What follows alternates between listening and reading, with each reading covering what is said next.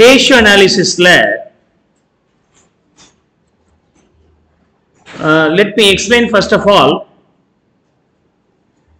what is ratio analysis and what is the what is the use of it okay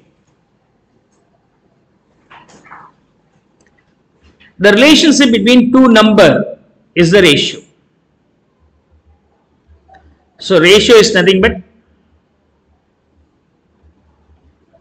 relationship between two numbers. Okay? Relationship between two numbers அந்த ரெண்டு நம்பருக்கும் ஏதோ ஒரு கோஹென்ஸ் இருக்கணும். சம்பந்தம் சம்பந்தம் இல்லாமல் ரெண்டு நம்பரை நம்ம லிங்க் பண்ணக்கூடாது. There should be some link centimetre அப்படின்னு சொன்னாக்க ஹைட் சென்டிமீட்டர்ல சொன்னார். ஒருத்தருடைய ஹைட் சென்டிமீட்டர்ல இன்னொருத்தருடைய ஹைட் சென்டிமீட்டர்ல இருந்தா கம்பேர் பண்ணலாம். ஒருத்தருடைய ஹைட்டை சென்டிமீட்டர்ல இன்னொருத்தர் ஹைட்டை இன்ச்சுன்னு சொல்லிட்டு அவன் குட்டையா இருக்கிறான்னு சொல்லக்கூடாது. So you to convert that ரொம்ப சிம்பிளா சொல்லணும்னா ஒரு படத்துல அந்த ஜோக் இருக்கும். ஆ? அந்த பயப்பார் எப்படி படிக்கிறான் நீ தான் இருக்கிற உருப்பிட மாட்டேங்கிற அப்படின்னு சொல்லிட்டு அவங்க அப்பா திட்டுவார். அடி எட்டின்னு அடிப்பார். அவன் உடனே சொல்லுவான் அவன் வந்து நானூற்றி எழுபது வாங்கினா நான் நானூற்றி எண்பது வாங்கியிருக்கிறேன். அவனுக்கு நான் பத்து மார்க் அதிகமாக தானே வாங்கியிருக்கிறேன். என்ன ஏன் உதைக்கிறீங்க அப்படிம்பா. அவனை நான் சொல்லுவார் அவன் டென்த்தில் ஐநூற்றுக்கு ஐநூறு மார்க்கு நானூற்றி எழுபது நீ வந்து ப்ளஸ் டூவில் ஆயிரத்தி இரநூறு மார்க்குக்கு நானூற்றி எண்பதுடா? அப்படிம்பா. ஸோ தட்ஸ் திங் பர்சன்டேஜில் சொன்ன பர்சன்டேஜில் தானே கம்பேர் பண்ணோம் ஸோ அதான் ரிலேஷன்ஷிப் பிட்வீன் டூ நம்பர்ஸ்னு சொன்னால் அந்த டூ நம்பர்ஸ் உடைய தன்மைகளும் ஒரே மாதிரி இருந்தால் கம்பேர் பண்ணிக்கலாம் டூ நம்பர்ஸ் இந்த ரேஷியோ நம்ம எஃப்எம்ல ஏன் யூஸ் பண்றோம்? அதோட இன்டென்ஷன் என்ன அப்படின்னு சொன்னாக்க மெயின் யூசஸ் வந்து பார்த்தீங்கன்னா லிக்விடிட்டி பொசிஷன் லிக்விடிட்டி பொசிஷன் அப்படின்னு சொன்னாக்க நம்ம யார் யாருக்கெல்லாம் பணத்தை கொடுக்க வேண்டியது இருக்கோ லயபிலிட்டி பேமெண்ட் இருக்கோ அதெல்லாம் அந்தந்த டேட்ல பேமெண்ட் பண்ணுறதுக்கு நமக்கு சஃபிஷியன்ட் பணம் இருக்கா? பத்தாயிரம் ரூபாய் நம்ம கொடுக்கணும் மூணு மாசத்துக்குள்ளார. அப்ப மூணு மாசத்துக்கு அப்புறம் என் கையில பத்தாயிரம் ரூபாய் வந்துருமான்னு பாருங்க. மூணு மாசத்துக்குள்ளார என்கிட்ட இப்ப இருக்க வேண்டாம். மூணு மாசத்துக்குள்ளார பத்தாயிரம் வந்துச்சுன்னா அதை வச்சு இந்த பத்தாயிரம் ரூபாய் அடைக்கிற மாதிரி இருந்தால் we are in safer position இருபதாயிரம் ரூபாய் இருந்தா சேஃபரா அடைக்கலாம். அதுக்கு பதிலா டெட் வந்து ஃபிஃப்டி தௌசண்ட் இருந்தால் we are in not in a position to settle the debt இதை கம்பேர் பண்ணது லிக்விடிட்டி ரேஷியோன்னு நம்ம சொல்லலாம். ஆப்ரேட்டிங் எஃபிஷியன்சி அப்படிங்கிறதை கூட இன்னொரு பர்பஸாக யூஸ் பண்ணிக்கலாம். Operating efficiency is that okay operating efficiency அந்த கம்பெனி எந்த அளவுக்கு பெட்டராக ஆப்ரேட் பண்ணுது? வீக்கராக இருக்கா? பெட்டராக இருக்கா? Is it operating in profitable manner or not அப்படிங்கிறது ஆப்ரேட்டிங் எஃபிஷியன்சி அப்படிங்கறத நம்ம சொல்லலாம். ஓகே ஜோக்கா சில சமயம் நான் சொல்லியிருக்கிறேன். ஓகே சேல்ஸுக்கும் ஸ்டாக்குக்கும் உள்ள ரிலேஷன்ஷிப் சேல்ஸுக்கும் ஸ்டாக்குக்கும் உள்ள relationship stock turnover ratio அப்படின்னு நம்ம சொல்லுவோம். This is called stock turnover ratio sales வந்து நூறு ஸ்டாக் வந்து பத்து ஸ்டாக் வந்து பத்து. அல்லது சேல்ஸ் வந்து நூறு ஸ்டாக் வந்து நூறு. அல்லது சேல்ஸ் வந்து நூறு ஸ்டாக் வந்து ஒன்று இந்த மாதிரி இருக்கு.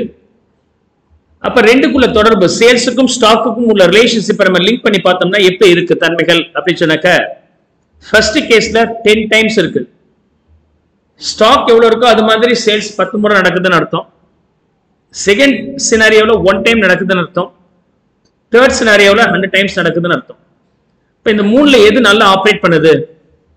அப்படின்னு கேட்டிங்கன்னா higher the number is better higher the number is better அது சின்ன எக்ஸாம்பிள் மூலமாக சொல்லலாம். நீங்க எல்லாம் ப்ரொஃபஷனல் கோர்ஸ் படிக்கிறீங்க. ஆடிட் பண்ணுறதுக்கு உங்களுக்கு பெரிய கம்பெனிக்கெல்லாம் அனுப்புகிறாங்க ஒரு நாள் திடீர்னு பார்த்தீங்கன்னா ஒரு பெரிய ஃபேமஸ் ரெஸ்டாரண்ட்டுக்கு அனுப்பிட்டாங்க. ரெஸ்டாரண்ட்டுக்கு அனுப்புனா ஒரு பதினோரு மணிக்கு நல்ல ஸ்மெல் வருது. இல்லையா? வடை அது இதுன்ட்டு. இப்போ வடை வருதுன்னா நீங்க வடைய கேட்டு வாங்கி சாப்பிடணுமா? இதை கடைக்கார கொடுத்த பிறகு சாப்பிடலாமா? இல்ல கொடுத்தா கொஞ்சம் காஷியஸா வேண்டாம்னு சொல்லிட்டு சாப்பிடலாமா? அப்படிங்கிறத நம்ம முடிவு பண்ணோம் இல்லையா? As a cost accountant chartered accountant அந்த கடையில் இருக்கக்கூடிய வடைக்கும் வடையோட சேல்ஸுக்கும் உள்ள லிங்கை முத பாருங்க. வடையும் வடையோடைய சேல்ஸுக்கும் உள்ள லிங்க் அப்ப பத்து முறைன்னு என்ன அர்த்தம்? உங்களுடைய ஸ்டாக் எவ்வளவு இருக்கோ அது மாதிரி சேல்ஸ் பத்து முறை நடக்குது. அப்படின்னா ஒரு வருஷத்துக்கு முன்னூத்தி அறுபத்தஞ்சு நாள்ல பத்து முறை ரொட்டேட் ஆகுதுன்னா ஒரு முறை வடை சேல் ஆகுறதுக்கு முப்பத்தி ஆறு நாள் ஆகுதுன்னு அர்த்தம். அப்ப வடையை சுட்டு வச்சுட்டான்னா அந்த வடை விற்கிறதுக்கு முப்பத்தி ஆறு நாள். ஹோட்டல் கடைக்காரர் வந்து சார் ஆடிட் பண்ண வந்திருக்கிறீங்க வாங்க.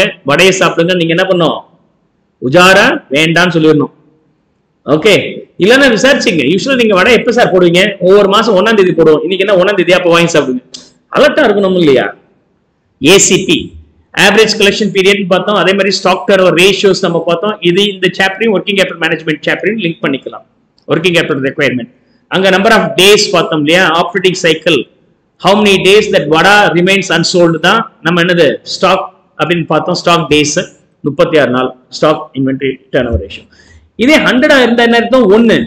முன்னூத்தி அறுபத்தஞ்சு நாளைக்கு ஒரே ஒரு முறை தான் ரொட்டேட் ஆயிருக்குன்னா ஒரு வருஷத்துக்கு ஒரு முறை வடையை போட்டு வச்சான்னா அது ஒரு வருஷம் ஃபுல்லா அப்படியே வச்சு விற்பான் அப்ப என்னதான் நீங்க உங்க கை காலை பிடிச்சி கெஞ்சினாலும் அந்த வடையை திங்காதீங்க. அப்புறமேட்டு என்ன வருது ஹாஸ்பிட்டல்ல போய் அட்மிட் ஆகும் மூணாவது சினாரியோல பாத்தீங்கன்னா hundred by one hundred by one hundred times அப்ப three sixty five divided by hundred டைம்ஸ்னா கிட்டத்தட்ட ஒரு நாலு நாளைக்கு ஒரு முறை வடைய போடுறாங்க. அப்ப நமக்கு எப்படிப்பட்ட டேர்ன் ஓவர் இருந்தா பெட்டரா இருக்கும்? நியூமரேட்டர்ல முன்னூத்தி அறுபத்தி அஞ்சையும் இல்ல எழுநூத்தி முப்பதும் டினாமினேட்டர்ல ஒன்னும் இருந்தால் டிவைட் பண்ணீங்கன்னா உங்களுக்கு எவ்வளவு வருது? செவன் தேர்ட்டி வருது. அப்ப three sixty five days in year divide by seven thirty போட்டீங்கன்னா ஹாஃப் அ டே காலையில சுட்டால் மதியானத்துக்குள்ளார வித்துரும் மதியானம் சுட்டால் ஈவினிங்குள்ளார வித்துரும் அப்படின்னா அவன் கொடுக்குறானோ இல்லையோ? என்ன சார் வடலாம் தர மாட்டீங்களான்னு கேட்டு கூச்சப்படாம வாங்கி சாப்பிட்டுக்கணும். சோ அப்ப அந்த கம்பெனி ஆக்டிவா இருக்குன்னு அர்த்தம். அந்த கம்பெனி ஆக்டிவா இருக்கா இல்லையான்னு டிசைட் பண்றதுக்கு ஆப்ரேட்டிங் எஃபிஷியன்சி ரேஷியோ யூஸ்வலா டேர்ன் ஓவர் ரேஷியோஸ் நம்ம பார்ப்போம். That will be name best turnover ratio அதெல்லாம் நம்ம இல்லஸ்ட்ரேஷன்ஸ்ல சம்மோட பார்க்கும்போது யூ அண்டர்ஸ்டாண்ட் திஸ் பியூட்டி இது இன்னும் ஒரு டிஃப்ரெண்ட் ஆங்கிள் இதை திங்க் பண்றதாக இருந்தால் ஹண்ட்ரட் ருபீஸ் வந்து லோன் வாங்கினீங்கன்னா அந்த லோனுக்கு நீங்க எவ்வளவு இன்ட்ரெஸ்ட் கட்ட வேண்டியது இருக்கு அப்படின்னு சொன்னாக்கா இருபது ரூபாய் இன்ட்ரெஸ்ட் கொடுக்க வேண்டியது இருக்கு.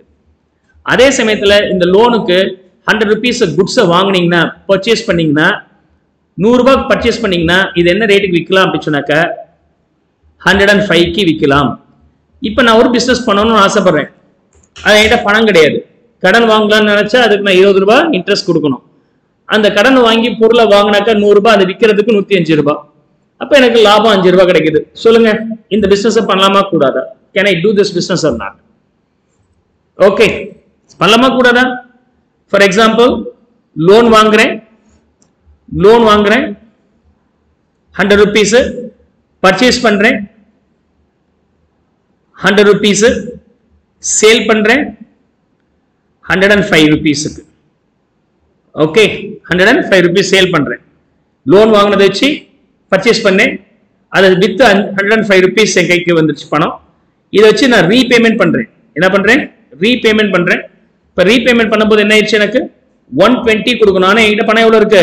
One not five I end up with fifteen rupees loss fifteen rupees loss ப்ராஃபிட்டா லாஸா லாஸ் ஆனால் நூறுரூபா லோன் வாங்குறேன். பர்ச்சேஸ் பண்ணுறேன் நூறுரூபாவுக்கு ரீ அதே மாதிரி சேல் பண்ணுறேன் நூற்றி அஞ்சு ரூபாவுக்கு. ஓகே எத்தனை முறை பண்ணியிருக்கிறேன்னா வாங்குறேன் விற்கிறேன் திரும்ப வாங்குறேன் விற்கிறேன் இந்த மாதிரி ஒரு வருஷத்துக்கு நூறு முறை பண்ணிட்டேன். எவ்வளவு முறை பண்ணிட்டேன்? நூறு முறை. நூறு முறை பண்ணா ஒவ்வொரு முறை ஃபைவ் ருபீஸ் ப்ராஃபிட்னா ப்ராஃபிட்டே ஃபைவ் ஹண்ட்ரட் ருபீஸ் ப்ராஃபிட்டே ஃபைவ் ஹண்ட்ரட் ருபீஸ் இப்போ நான் எவ்வளோ ரீபேமெண்ட் பண்ணணும்? அஃப்கோர்ஸ் பிரின்சிபல் அமௌண்ட் தனியா இருக்கு. வட்டி மட்டும் ஒரு இருபது ரூபாய் கட்டினா எனக்கு பேலன்ஸ் வந்து நானூத்தி ஐம்பது ரூபாய் கையில என்ன இருக்கு? ப்ராஃபிட் இருக்கு. அப்ப இந்த பிசினஸ் பண்ணலாம் இந்த பிசினஸ் பண்ணக்கூடாது. ஏன் சார்? ஒரே மாதிரி தானே சார்? நூறு ரூபாய்க்கு வாங்கி நூத்தி அஞ்சு ரூபாய் வித்தாக்க ஃபைவ் ருபீஸ் ப்ராஃபிட் இருக்கு. ஃபர்ஸ்ட் கேஸ்ல கூடாதுன்னு சொன்னீங்க செகண்ட் கேஸ்ல ஓகேன்னு சொன்னீங்க அப்படின்னு சொன்னாக்க இதை வாங்கி விற்கிறது ஜஸ்ட் ஒரே ஒரு முறை தான் டிரான்சாக்ஷன் நடந்திருக்கு. அப்படின்னா இந்த கேஸ்ல இருக்கு. Okay stock turnover ratio எப்படிப்பட்டதா இருக்கு? அதோட தன்மை ஒரு முறை. இது மாதிரியான இண்டஸ்ட்ரி எதுவா இருக்கும்னா ஒரு car Mercedes Benz Audi or any Ferrari car இந்த மாதிரி ஸ்போர்ட்ஸ் கார் எத்தனை விற்க போறாங்க? ஒரு ஷோரூம் வச்சுட்டாக்க வருஷத்துக்கு ஒன்று வித்தாலே போதும். அதுலேயே அவர் சம்பாதிச்சு ஆகணும். அப்படின்னா அவ்வளோ ஹெவி ப்ராஃபிட் இருக்கணும். அவர்கிட்ட ஹெவியா இன்ட்ரெஸ்ட் கொடுத்து கடன் வாங்கி அந்த தொழில் செய்யலாம்னா பிசினஸ்ல லாபம் இருக்காது. அதே சமயத்துல ரோட்ல வடகரகரர் இருக்கிறார் அப்படின்னு சொன்னாக்க அவன் பத்து ரூபாய் வட்டி கூட கொடுப்பான். அந்த கந்து வட்டிலன்னு சொல்றாங்க இல்லையா? டென் பர்சன்டேஜ் இன்ட்ரெஸ்ட் சாலிடா இருக்கும். டென் பர்சன்ட் டுவெண்ட்டி பர்சன்டேஜ் ஒரு நாள் நான் அப்படியே இன்ட்ராக்ட் பண்ணிட்டு இருக்கிறேன். ஒரு கோகனட் டெண்டர் கோகனட் செல்லர் ஒரு லேடி அவங்ககிட்ட போய் பேசிட்டு இருந்தேன். ஓகே ஸோ அவங்ககிட்ட பேசிட்டு இருக்கும்போது எவ்வளோங்க இன்ட்ரெஸ்ட் தருவீங்க நான் பத்து ரூபாய் வட்டி தம்பி அப்படின்னாங்க. என்னங்க பத்து ரூபாய் வட்டின்றீங்க? அசால்ட்டா அந்த பத்து ரூபாய் வட்டிங்கிறது என்னன்னா நூறுரூபா கடன் வாங்குனீங்கன்னா உங்களுக்கு தொண்ணூறுபா கொடுப்பாங்க. அந்த தொண்ணூறுபாவை தொண்ணூறு நாளில் repayment பண்ணியாகும் so within three months you to pay அப்படின்னா ten rupees interest for three months சொன்னால் ஒன் இயருக்கு என்னாச்சு? நாலு முறை. நாற்பது ரூபாய் இன்ட்ரெஸ்ட் ஃபார்ட்டி பர்சன்டேஜ் இன்ட்ரெஸ்ட் தொண்ணூறுக்கு நாற்பது ரூபாய் இன்ட்ரெஸ்ட் ஒரு வருஷத்துக்குனா கிட்டத்தட்ட ஒரு fifty percent close to fifty percentage you are paying the interest அவ்வளோ இன்ட்ரெஸ்ட் எல்லாம் கொடுத்து ஒரு பெரிய பிஸ்னஸ் நடத்த முடியாது. ஆனால் இந்த டெண்டர் கோக்னெட்டோ இல்லை ரோட்டில் வடை விற்கிறவங்களால முடியும். என்ன காரணம்? ஒரு ரெண்டு இளநியை வாங்குறாங்க. ஒரு மதியானம் ரெண்டு மணி நேரத்தில் வித்துரும். திரும்ப வாங்குவாங்க வித்துருவாங்க லாபத்தை பார்த்துருவாங்க. Then they can settle this money so they are capable of paying more interest also more interest அவங்களால பே பண்ண முடிஞ்சதுக்கு இல்லை லாபம் ஹெவியாக வந்ததுக்கு காரணம் என்னன்னா ரொட்டேஷன் அந்த ரொட்டேஷனை தான் ஆப்ரேட்டிங் எஃபிஷியன்சின்னு சொல்கிறோம் how far it is active அப்படின்னா நம்ம கிட்ட இருக்கிற ஸ்டாக் உள்ளார வந்துச்சு வித்துருச்சு. உள்ளார வந்துச்சு வித்துருச்சு அப்படின்னாக்க ஒவ்வொரு முறை விற்கும் போது ப்ராஃபிட் சின்ன சின்ன ப்ராஃபிட் இருந்தாலும் மல்டிபிள் டைம்ஸ் அந்த டிரான்சாக்ஷன் நடக்கும்போது you just multiply that so much huge profit will be there apart from that அந்த மாதிரி ஃபாஸ்ட்டாக வந்துட்டு ஃபாஸ்ட்டாக சேல் பண்ணுற கடையில் எல்லாமே ஃப்ரெஷ்ஷாக இருக்கும். Sales by default அதிகமாகிடும் so that will be the strategy whether the company is having the operating efficiency we have a set of formula for determining that ratios for that and நம்ம செய்த சேல்ஸுக்கு எவ்வளோ profit வருது sir overall profitability எவ்வளவு இருக்கு? Okay நூறுரூவா வித்தோம். அதுக்கு profit பத்து ரூபா வருதா பதினஞ்சு ரூபா வருதா? ஓகே எவ்வளவு எக்ஸ்பென்சஸ் இதெல்லாம் பா கணக்கு பார்த்தோம்னா அது பேர் ஓவரால் ப்ராஃபிட்டபிலிட்டி கண்டுபிடிக்கலாம். நம்ம கம்பெனிக்கும் இன்னொரு கம்பெனிக்கும் கம்பேர் பண்ணி பார்க்கலாம். இன்டர்ஃபர்ம் கம்பேரிசன் நம்ம சொல்லலாம் that will be named as interfirm comparison is that okay ஏங்கிற கம்பெனி டென் பர்சன்டேஜ் வந்து தான் போட்ட முதல்ல சம்பாதிக்கிறார். பிங்கிற கம்பெனி டுவெல் பர்சன்ட் சம்பாதிக்கிறார்னா பி இஸ் பெட்டர் எந்த ஆஸ்பெக்ட்ல பி கம்பெனி பெட்டரா இருக்கிறாங்க? ஏன் அவங்களால நம்மளால டூ பர்சன்ட் எக்ஸ்ட்ரா சம்பாதிக்க முடியுது அப்படிங்கிற அனலைஸ் பண்ணா we can also increase that there is a capacity அது இது எல்லா விஷயத்துக்கும் இந்த ரேஷியோ யூஸ் பண்ணலாம். So explain what is call ratio and second part is what is call what are the uses of ratio analysis அப்படிங்கிறது நம்ம பார்த்துட்டோம் of course ratio அனாலிசிஸ்ல சம் லிமிடேஷன்ஸ் இருக்கு. ஓகே அது என்ன sir லிமிடேஷன்னா it only gives the relative picture okay relative picture every organisation is unique இப்போ தான் நான் சொன்னேன் உங்களுக்கு. இப்போ இந்த இன்வென்ட்ரி டர்னவர் ரேஷியோவில் ஹாஃப் டே இருந்துச்சு இல்லையா லாஸ்ட் கேஸு வடகடை எக்ஸாம்பிளுக்கு நான் சொன்னேன் இல்லையா ஹாஃப் டேல சேல் ஆகுது அப்படின்னு சொல்லிட்டு. அது யாருக்கு தான் சூட்டபிள் அப்படின்னு சொன்னாக்கா வட மாதிரி கடைகளுக்கு சூட்டபிள் ஆகிடும் ஆனால் இந்த மாதிரி லக்ஸரி காருக்கு வந்து இது சூட்டபிளாக இருக்க முடியாது. ஸோ நீங்கள் பாட்டுக்கு இந்த கம்பெனியில் இருக்கக்கூடிய அதாவது ஒரு ரெஸ்டாரண்ட் கம்பெனியில் இருக்கக்கூடிய டேர்ன் ஓவர் ரேஷியோ கூட வந்து இதில் போட்டு கம்பேர் பண்ணி பார்க்கலாமானா yeah of course it's not possible but each and every organisation have its own uniqueness okay so அதான் நீங்கள் மைண்டில் வச்சுக்கணும். That will be one of the limitations second part ratio is only a டூலுங்க அந்த tool base பண்ணி நீங்கள் தான் interpret பண்ணணும். அந்த இன்டர்பிரேட் பண்றவர் வந்து எக்ஸ்பர்ட்டாக இல்லை அப்படின்னா ஜட்ஜ்மெண்ட் பண்ணிடுவார். இப்போ ஸ்டாக் மார்க்கெட்ல ரொம்ப பேர் நானும் அனலைஸ் பண்றேன் நானும் ஷேர் மார்க்கெட்ல இன்வெஸ்ட் பண்றேன். எனக்கு தெரியாததா? அப்படின்னு சொல்லிட்டு ரொம்ப பேர் ஷேர் மார்க்கெட்ல இன்வெஸ்ட் பண்றாங்க பணத்தை விட்டுறாங்க. என்ன காரணம்? அஃப்கோர்ஸ் எல்லாமே நோன் ஃபேக்டர்ஸ் தான்.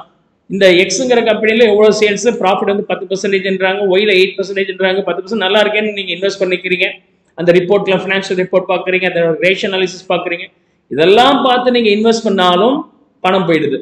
ஏன் பண்ண போகுதுன்னா there are some other factors cannot inference that அதை இன்ஃபரன்ஸ் பண்ணி உள்ளார உண்மையான விஷயங்கள் என்ன இருக்குங்கிறத அரைவ் பண்ண முடியல. It required some expertise knowledge and experiences that will also be one of the reasons. Inferences arrive பண்ண முடியல. Requires expertise knowledge. That's also one of the limitations of ratio analysis. Three window dressing பண்ணியிருப்பாங்க. அட்ர அக்கௌண்ட்ல பொறுத்த வரைக்கும் பார்த்தீங்கன்னா பத்தாயிரம் ரூபாய் லாபம் வருது அப்படின்னு சொன்னாக்க நம்மால் இருபதனாயிரம் ரூபாய் லாபமாக கொண்டு வரதுக்கு என்னென்ன உள்- உள்குத்து வேலை செய்ய முடியுமோ எல்லாத்தையும் பண்ணிடுறது.